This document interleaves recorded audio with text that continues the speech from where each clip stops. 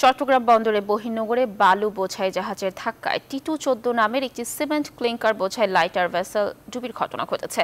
শনিবার ভোর পাঁচটায় এই ঘটনা ঘটে। এতে পাঁচজন নিখোঁজ রয়েছেন। এছাড়া নয় জনকে জীবিত উদ্ধার করেছে কোস্টগার্ড সিমেন্ট বোঝাই লাইটার ভেসেলটি ঢাকার কাঁচপুর যাওয়ার জন্য অপেক্ষা করছিল। এ সময় একটি বড় জাহাজ ধাক্কা দিলে লাইটার ভেসেলটি ডুবে যায়। চট্টগ্রাম বন্দর সচিব ওমর ফারুক জানান ঘটনায় তাদের contingent Sangu contingent Kutubdia contingent ও সদর কন্টিনজেন্ট একযোগে উদ্ধার কার্যক্রম চালাচ্ছে।